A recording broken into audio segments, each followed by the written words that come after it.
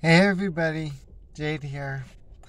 Um, well, right now I'm working at the Vineland Flea Market in New Jersey, and um, I don't have any customers. Fortunately, I was able to use the car for today to sit at right well. My table's right there. You can see it right in front of here. So when I have a customer, I'll know.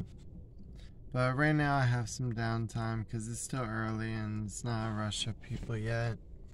So I just wanted to give everybody a little shout out and say that my vibes are good today. Like I have a feeling I'm gonna make a lot of money.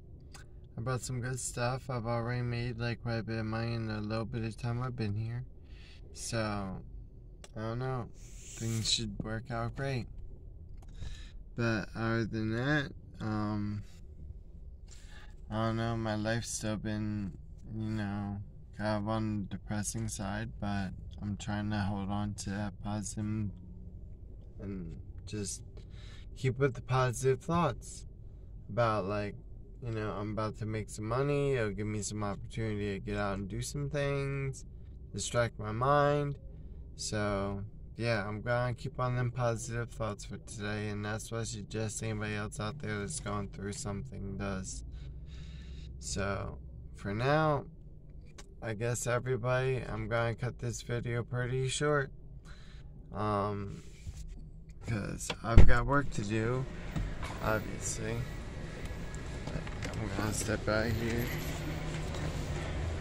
Show at the table.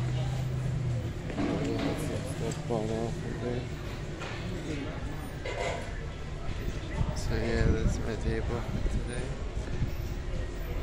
Um,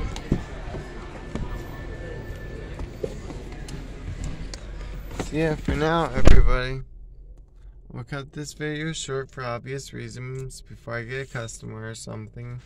And I have to cut short fast. For now, everybody, be safe and peace out.